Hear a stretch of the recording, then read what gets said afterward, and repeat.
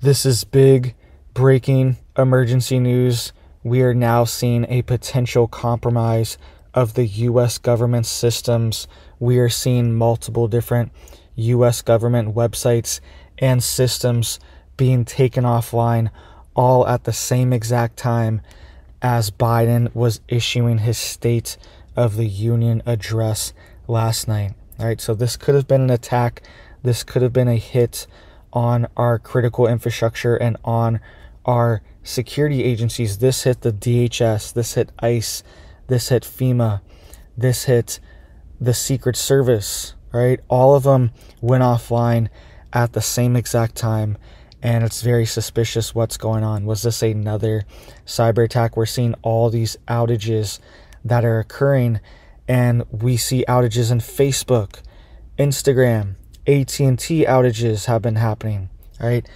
This keeps happening for some reason and it seems like there are compromises inside of our critical infrastructure and inside of even our US government now, right? And to access these servers that are being accessed and potentially being shut down or disrupted would be very high level access and would require high level security clearances to have access to these, right? So it could have been somebody that has clearance, or it could have been an outside foreign source as well that is causing these disruptions, right? So lots of big stuff going on, and we could see the big one. It seems like they are doing dry runs to see which backdoors that they've installed, pre installed, or that they've tried to get people to install covertly they're trying to see which backdoors are actually working, which ones can be activated in time of a crisis or a war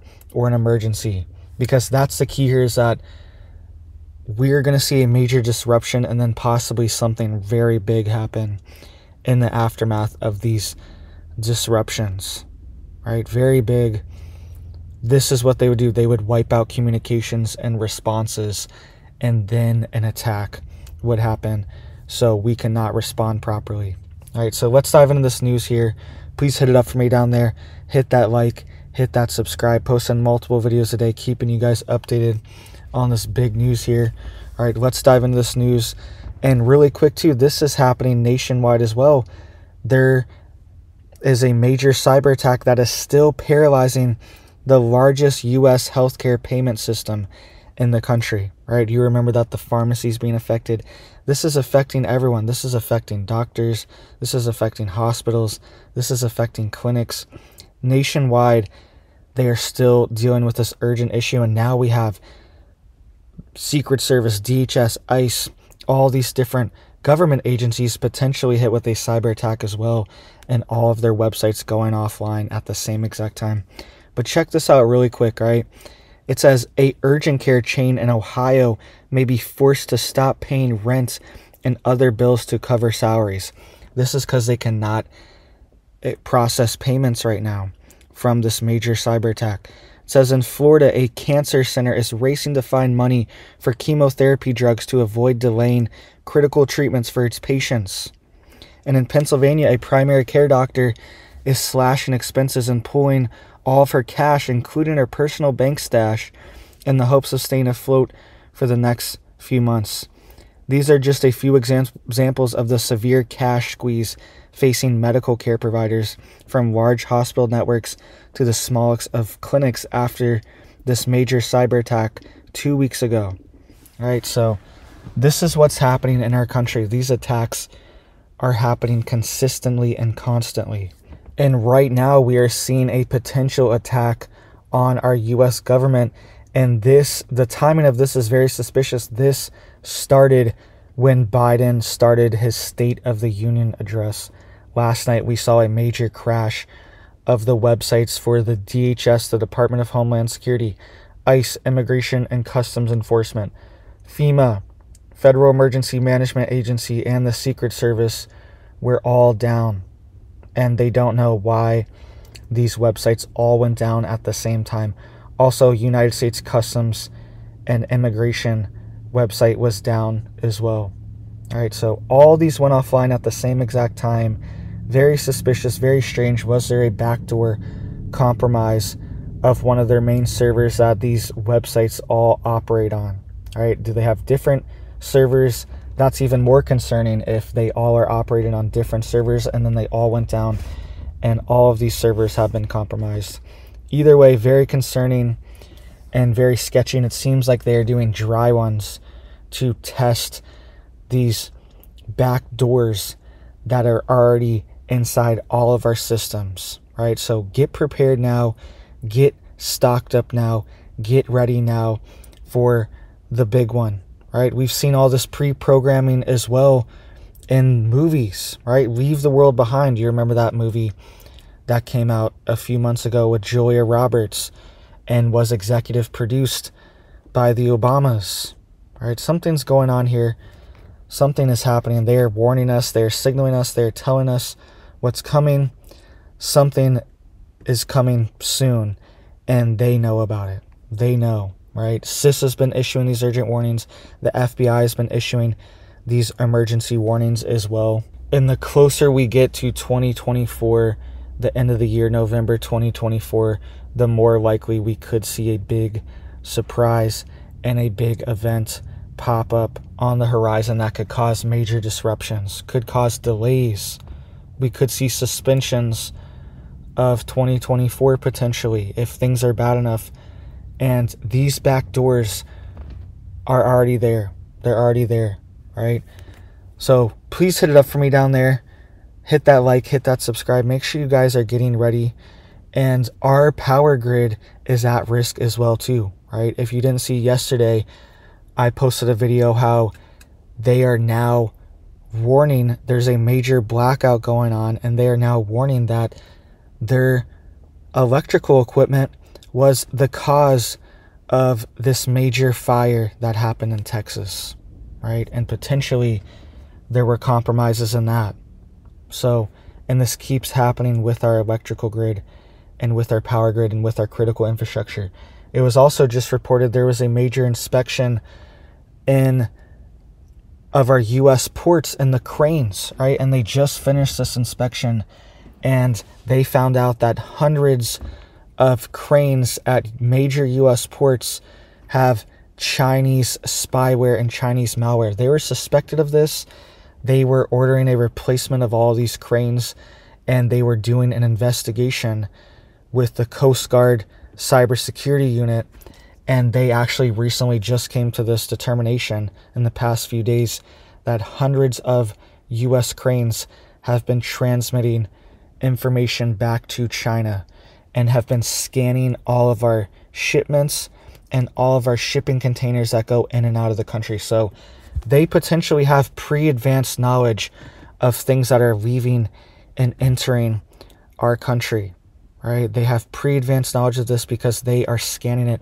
They know if we're sending military shipments somewhere, they know if we are getting shipments, they know if we are trying to sneak things in. There's a national security shipment being imported through the ports. All these things are being scanned and potentially compromised right now, and they can also potentially turn off these cranes and turn off our supply chain and our ports at a moment's moment's notice, right?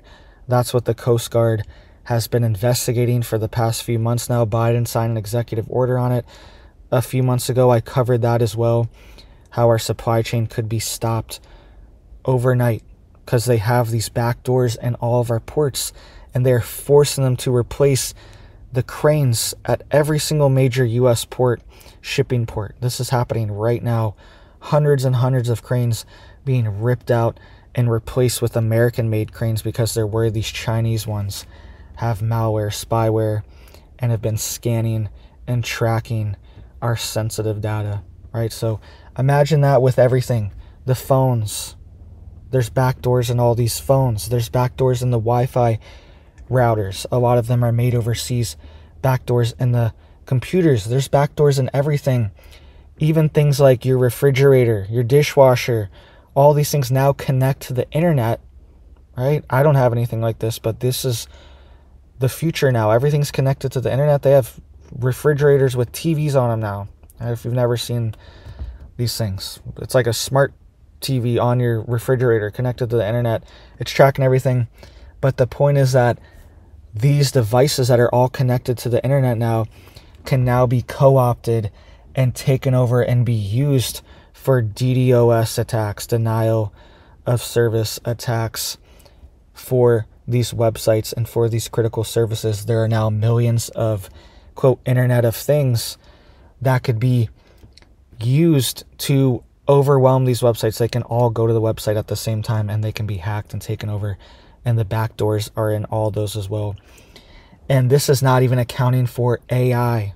Okay, we also have AI being unleashed onto the public, which can be used as a tool, but there's also downsides to it where it is now creating this advanced uh, computer language codes that they are using for cyber attacks and for hacking capabilities. They are now using it to crack into systems with AI, and they are also using it once they are inside the systems.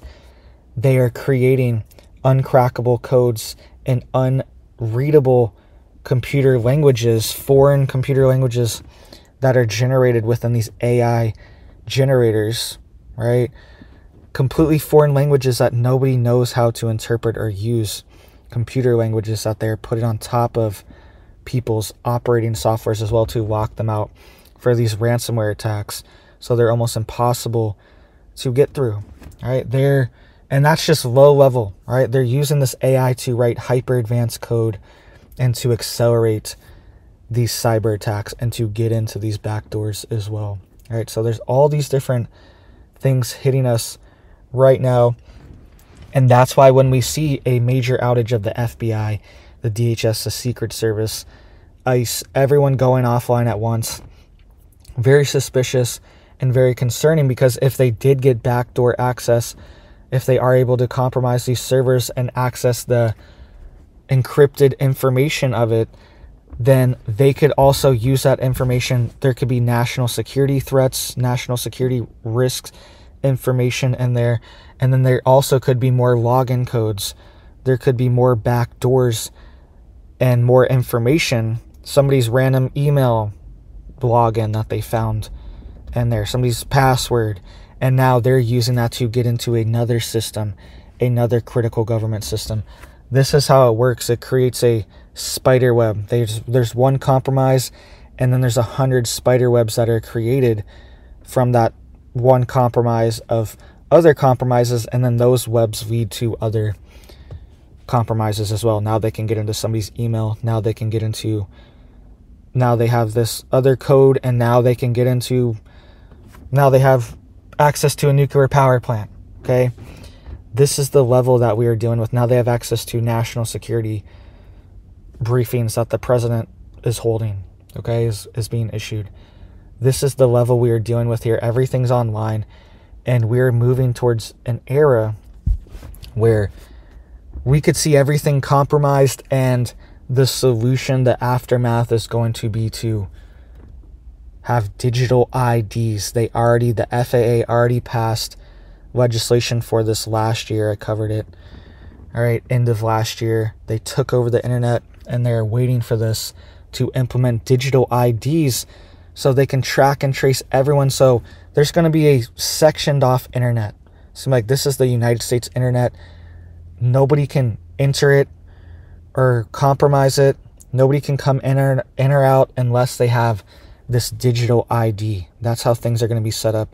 So they know, all right, this is coming. There's no VPN, there's no hiding your IP or anything like that. They know it's coming from this digital ID, this attack, this compromise, and we're going to find you and shut you down and lock you out of the internet. And then it's that's going to be the big overarching story to keep us safe. And then it's going to be used to shut down people offline completely off the internet and completely deperson people and wipe them off the internet. All right, so make sure you're getting prepared. We need to be creating these alternative systems in our communities. We are going hard. We have over 50 chickens. All right, we're turning into a little chicken hatchery, chicken farm over here. Pretty much that's what we're working on. I'll keep you guys updated on our goals here and what we're doing. But that's what we're working on for our community. We're going to have a ton of eggs. We're going to be providing eggs, providing chicks, providing value for people in our community, bartering with people, trading with people that have meat, trading people, trading with people that have dairy. All right, we're gonna get some goats. We got our gardens going. This is what we are working on. We're creating these alternative systems. So if it hits the fan, the grid goes down, grid goes offline, we are good. We still have real world things going on that are gonna keep going. The, it's gonna keep going. The chickens are gonna keep laying eggs, no matter how many cyber attacks they issue. All right, so get set up now, get ready now, get prepared now. Please hit it up for me down there, and I hope you have a big old bus day.